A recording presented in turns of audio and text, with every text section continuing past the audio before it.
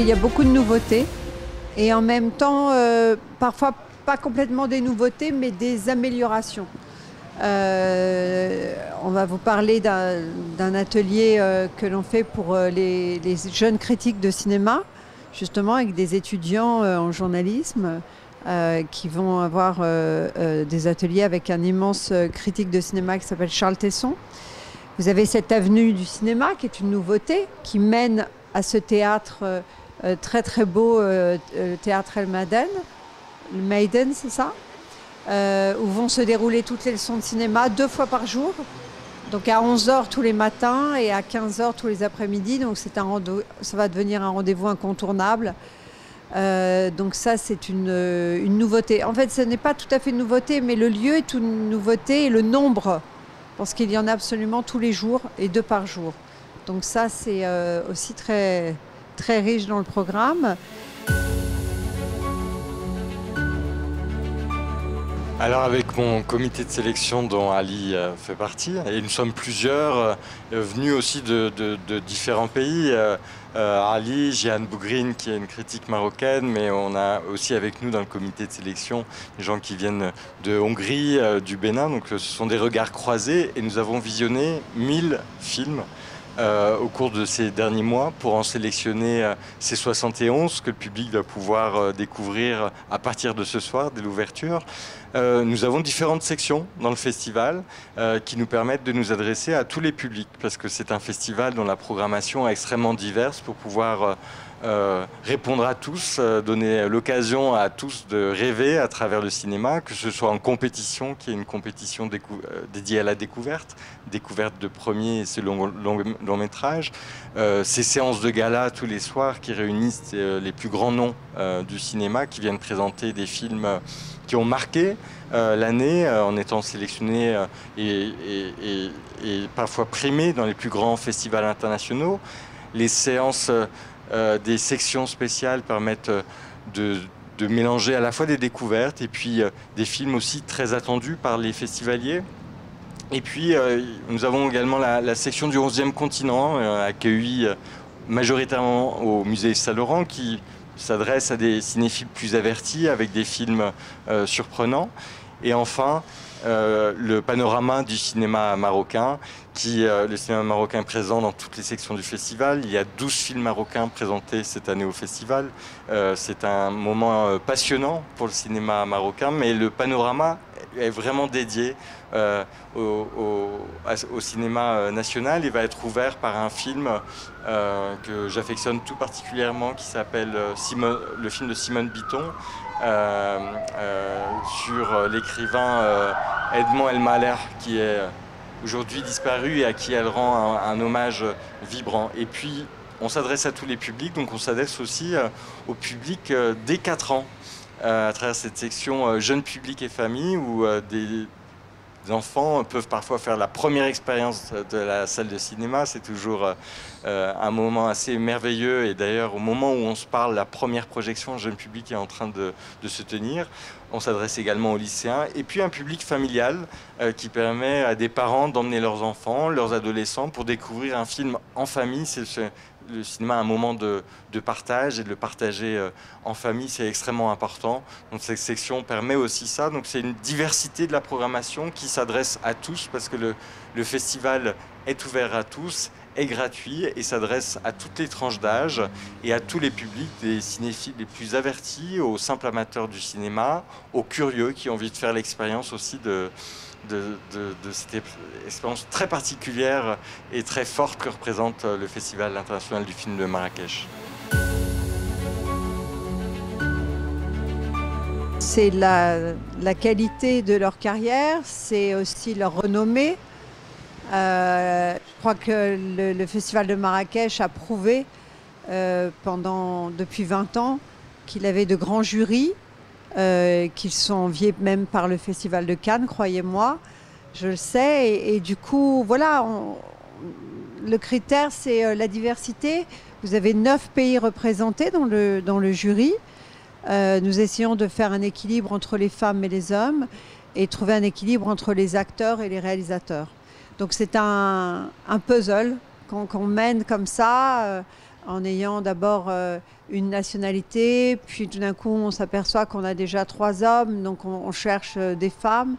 et puis il se fait petit à petit, ça prend des mois, parce qu'évidemment pour, pour avoir des personnes de cette qualité-là, et, on, passe par d'autres aussi d'une qualité aussi importante, mais qui sont occupés, qui sont en train de tourner. nous avons toujours des, listes favorites. Et puis nous essayons parfois euh, des personnes deux ou trois fois de suite qui ne sont pas disponibles. Et puis euh, la quatrième fois, eh ben, euh, cette personne est disponible et peut venir. Donc c'est un travail aussi de longue haleine et, et, c'est intéressant de voir comment, pour nous qui après les, côtoyons et, discutons avec eux, comment certains jurys euh, tout d'un coup s'entend euh, très très bien et, dans lequel il y a une osmose absolument parfaite. Et parfois c'est plus difficile, parfois il peut y avoir euh, des petites tensions de point de vue et autres. et je crois que le jury de cette année va très très bien s'entendre. Vous savez, ce festival attire pour, pour plusieurs raisons on parle évidemment de, Marrakech, de cette ville magique. Hein, euh. mais, si le festival n'avait pas une bonne réputation, euh, professionnellement, les personnalités ne viendraient pas. Elles pourraient venir en vacances, elles n'auraient pas besoin de nous pour connaître Marrakech. Donc il fallait s'inscrire dans une légitimité euh, que nous avons, je crois, aujourd'hui et, depuis des années. Je crois que ça s'est renforcé avec euh, l'avenue de, Rémi, euh, qui a commencé avec nous euh, pour installer les ateliers de l'Atlas. Puis il est devenu notre directeur artistique. Mais du coup, le Festival de Marrakech a une renommée aujourd'hui de qualité. Je précise encore une fois que personne n'est payé pour venir. et donc les gens ont envie de venir parce qu'ils en entendent parler. Et puis, moi, je fais souvent appel à ce que j'appelle nos ambassadeurs. Donc euh, les, grandes personnalités qui sont venues plusieurs fois, comme Martin Scorsese, comme Francis Ford Coppola et d'autres, euh, bien souvent je leur demande de parler de nous ou de me mettre en contact avec une célébrité ou que je ne connais pas encore ou que je connais peu. Et euh, ça aide beaucoup parce que ce sont des personnes qui sont demandées dans tous les plus grands festivals et autres. Il y a, plus de 2000 festivals dans le monde. Donc, ils posent bac euh, et c'est ce que nous faisons tous les trois euh, toute l'année. Quand on a commencé euh, le festival, on s'est dit bon ben on va pas essayer de lutter avec le festival de Cannes, Venise ou Berlin. On va pas essayer d'avoir les plus grands metteurs en scène du monde en compétition chez nous parce que on, ne sera pas leur priorité parce que nous débutons. Euh, donc on, a tout de suite eu envie, euh, à l'époque avec Feu mon mari, de, découvrir des talents.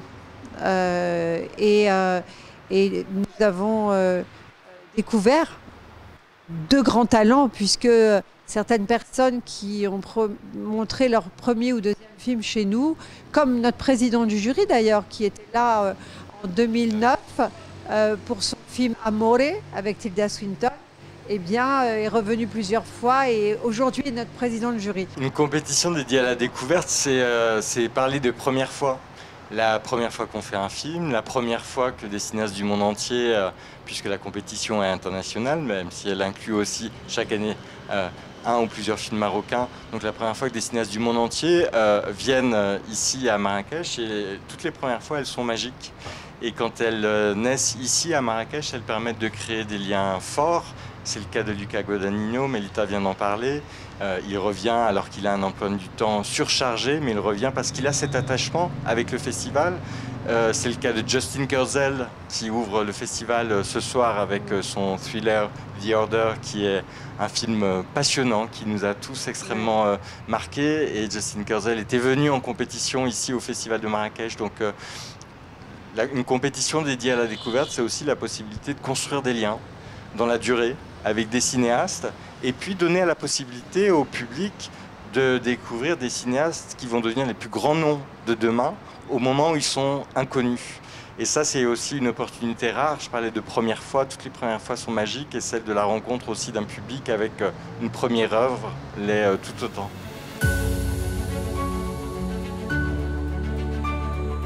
Cette année, nous présentons neuf films en première mondiale ou internationale. Et euh, ça montre euh, la, confiance que les producteurs, les distributeurs avec lesquels nous travaillons et nous, échangeons toute l'année, euh, cette confiance qu'ils ont au Festival de Marrakech qui représente pour eux euh, non seulement euh, un véritable plaisir de venir découvrir euh, le, Maroc et, le public marocain, mais aussi un festival dans, lequel la présence de la presse marocaine, internationale, la présence des plus grands noms du cinéma permet à des films d'être lancés dans leur carrière internationale. Et nous invitons d'ailleurs cette année des distributeurs du monde entier à venir découvrir les premières mondiales que nous présentons ici au festival et qui vont permettre euh, euh, encore une dimension supplémentaire à la renommée euh, du festival à travers le monde. C'est un rendez-vous qui effectivement est tout de suite devenu incontournable parce qu'il a été créé en 2018 avec Rémi et l'équipe qui, qui travaillait avec lui à ce moment-là. Et c'est un travail de, de, précision. C'est vraiment un travail d'accompagnement sur mesure de cinéastes de la région. C'est des premiers, deuxième et troisième longs métrages, en tout cas dans les sections, les sections principales telles qu'elles ont existé au début. Et donc, c'est, euh, je pense que ce qui fait le, succès de ces ateliers, c'est d'abord la très grande rigueur, le sérieux avec lequel euh, euh, ils ont été pensés, imaginés, mis en place. aussi à travers la qualité des sélections qui ont été faites depuis toutes ces années. les chiffres sont impressionnants. En cette édition, il y a eu 152 projets qui ont été, et films qui ont été euh, soutenus par les ateliers de l'Atlas, dont 60 Marocains. L'objectif, euh, je crois que c'est d'accompagner de plus en plus de, talents. Tous les noms que Ali vient d'évoquer, de ces jeunes cinéastes qui ont marqué de leurs films ces dernières années, ici à Marrakech et puis dans des festivals à travers le monde, suscitent beaucoup de vocations, donnent envie. Euh, donne envie à des jeunes de se lancer dans la réalisation, euh, de produire. Euh, le, cinéma, c'est une affaire collective. Il y a un, seul cinéaste à la tête, mais c'est une affaire collective. Et on a besoin pour ça d'accompagner un mouvement, de créer des, des, vocations et puis aussi de développer le public, puisqu'aujourd'hui, nous avons également lancé des initiatives pour accompagner les sorties en salle de ces films marocains, arabes et africains nous accompagnons quand ils sortent en salle ici au Maroc, également dans d'autres pays euh, de la région. Les films marocains que nous soutenons dans leur sortie au Maroc, nous les soutenons aussi quand ils sortent dans d'autres territoires pour faire aussi connaître mieux le cinéma marocain euh, dans la région arabe et sur le continent euh, africain. Donc l'accompagnement se situe, je dirais, bah, dès l'écriture Ici, on le retrouve au festival avec la première rencontre avec le public marocain et puis on accompagne jusqu'à euh, la, rencontre avec tous les publics de la région. Donc euh, l'envie, c'est de vraiment dynamiser tout le secteur euh, en étant à 360 sur toutes les différentes étapes que sont celles de la vie d'un film. J'espère voir de plus en plus de films marocains se produire de plus en plus de diversité. En tout cas, surtout, ce que je souhaite avant tout, c'est que les cinéastes marocains puissent euh, avoir les moyens euh, de leur ambition et de leur talent. Moi, je voudrais rajouter que euh, nous aidons, évidemment, les ateliers aident les réalisateurs, mais pas que. Ils aident aussi les jeunes producteurs. Et puis parfois, certains grands techniciens, assistants, assistants réalisation, monteurs, etc. Mais ce qui est important aussi, on n'en parle pas assez souvent, c'est que nous, invitons depuis quelques années de grands directeurs de festivals des plus grands festivals du monde. Euh, le festival de Cannes est présent cette année, Berlin et beaucoup d'autres. Le, festival de Marrakech aide le cinéma marocain à plein niveau à se mettre, à être mis en lumière dans le monde entier, à aider les jeunes à créer, à produire. Et, euh, et c'est notre vocation. C'est vraiment, on est là pour le cinéma marocain, pour le public marocain. On est aussi dans un moment passionnant du cinéma arabe qu'on retrouve dans toutes les sections de la compétition aux, séances spéciales. Nous présentons trois films palestiniens cette année, un film en compétition, Happy Holiday de Skandar Kopti. C'est une très belle année du cinéma palestinien. Euh, beaucoup de films ont été produits euh, cette année. Euh, on présentera en séance spéciale un des films qui m'a le plus marqué cette année, qui s'appelle To the Land Unknown, de Mahdi Fleifel, qui est un cinéaste palestinien né dans les camps réfugiés au Liban, aujourd'hui installé au Danemark. Cinéma égyptien aussi, on le retrouve en compétition, Perfume to Mint, Mohamed Hamdi, qui est une nouvelle voix du cinéma égyptien euh, passionnante, singulière, différente de ce qu'on voit du cinéma égyptien habituel, et un film qui est également euh, accompagné par les ateliers d'Atlas, un film qui s'appelle Les filles du Nil, un documentaire euh, qui a marqué les festivals dans le monde. Il a remporté le prix du meilleur documentaire qui s'appelle L'œil d'or au Festival de Cannes. C'est un film co-réalisé par Nadar Riyad et Ayman El Amir, qui est un film très beau puisqu'il euh, s'intéresse à des jeunes femmes qui font du théâtre de rue dans un village copte de la Haute-Égypte et qui euh, tentent euh, dans leur village d'interpeller leurs voisins, leurs familles sur leurs conditions de femmes et puis avec cette conviction très forte de vouloir devenir comédienne. Donc le cinéma arabe est extrêmement présent. Je cite ces films-là, mais il y en a encore d'autres. Aussi le cinéma iranien. Également le cinéma euh, iranien, avec notamment un film euh, très attendu ici, Les graines du figuier sauvage euh, de Mohamed Rasoulov, qui est un thriller passionnant et important, puisque c'est un film qui met en scène une famille dans laquelle les femmes vont se révolter et rebeller contre la figure du père. Non, je voulais juste rebondir là-dessus. Alors effectivement, juste pour vous donner quelques chiffres, on a 25 films euh, arabes et africains cette année dans la programmation du festival sur 71 films. Donc plus d'un tiers de la programmation est dédiée aux films de, la région, ce qui est une proportion euh, importante à laquelle on tient euh, aussi. Je rappelle aussi que les ateliers d'Atlas dont on a parlé sont dédiés au cinéma de la région. Donc c'est le cinéma marocain évidemment, arabe et, africain. Et donc voilà, on est vraiment sur une, une, grande représentativité du, du cinéma arabe et africain euh, au niveau du, du, festival, dans toutes les sections, comme l'a rappelé Rémi. Il y a eu cette volonté de... Chaque année, on, s'interroge sur le, les évolutions à, à, à donner aux au festival. Cette année, avec le comité d'organisation, de, il a été décidé d'ouvrir le festival différemment sur la ville. Avec cette extension au niveau de M Avenue, je pense que vous, quand vous allez le vivre, vous allez, vous allez voilà, l'envisager différemment parce qu'on vraiment s'installe sur toute cette avenue avec tout un tas d'animations qui vont se dérouler tout au long de la, semaine. Et toute la journée, donc euh, des animations à destination du grand public et des cinéphiles également, puisque Melita l'a cité tout à l'heure, il y a le théâtre Maiden dans lequel vont avoir lieu les Euh, tout au long de l'avenue M, il va y avoir des expositions à destination du grand public. On va créer un espace euh, sur le bassin, euh, ce bassin central du, de M Avenue. Il va y avoir un tapis rouge, un écran géant derrière où les gens, les familles, les amis, etc. pourront venir se faire prendre en photo, repartir avec un souvenir du festival. Il va y avoir des animations musicales, tout ça thématisé autour du cinéma. des conteurs qui vont venir tous les jours euh, euh, faire des, petites scénettes euh, extraites de, films, ou en tout cas travailler à partir de scènes de films pour raconter des histoires. Donc on a prévu cet endroit comme vraiment quelque chose de très vivant et d'ouvert et, destiné au, grand public, avec un kiosque aussi dans lequel les gens pourront aller s'informer sur le programme du festival et s'accréditer. Parce que je rappelle que les accréditations sont gratuites et qu'il suffit d'aller soit dans un des kiosques, qu'on installe euh, à travers la ville. Il y en a un ici, juste en face du Palais des Congrès.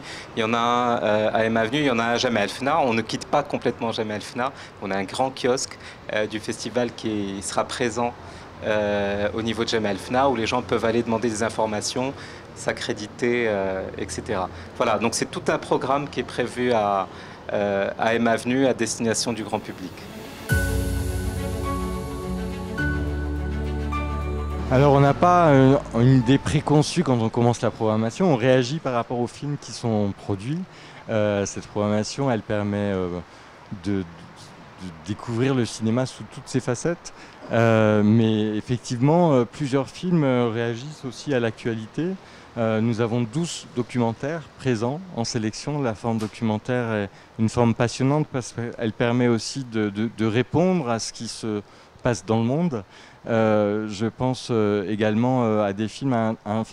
nous avons d'ailleurs plusieurs films aussi de, de, de, de réalité arabe, mais qui sont réalisés par des cinéastes qui ne sont pas forcément de la région. Et je pense à ce film que nous allons montrer en sens de gala qui s'appelle Le quatrième mur de David Lofen et qui est un film très fort qui revient sur la guerre au Liban, euh, mais euh, avec une euh, question qui est très forte, qui est qu'est-ce que peut l'art en temps de guerre donc effectivement, il y a des films qui vont nous donner à réfléchir, des films qui vont nous faire rire, nous avons des comédies, nous avons des thrillers, donc on va passer par toutes les émotions, mais le, festival est un lieu d'échange, de partage et une possibilité aussi de réfléchir sur le monde qui nous entoure à travers ces documentaires et ces films qui résonnent effectivement avec l'actualité. Oui, je suis très très fière. Euh, je suis très fière, je suis là depuis la première édition que nous avons euh, montée avec euh, mon époux.